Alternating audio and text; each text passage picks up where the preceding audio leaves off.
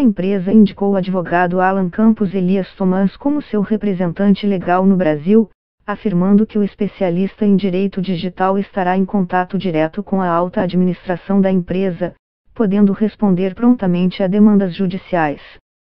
O aplicativo diz ainda que deve restringir postagens por usuários banidos por espalhar desinformação, promover conteúdo com origem em fontes verificadas e atualizar seus termos de serviço para incluir essas mudanças.